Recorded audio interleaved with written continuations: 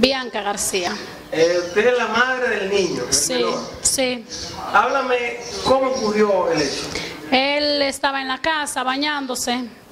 Yo vivo por el San Antonio. Y cuando él salió de la casa, él subió para arriba, camino al matadero.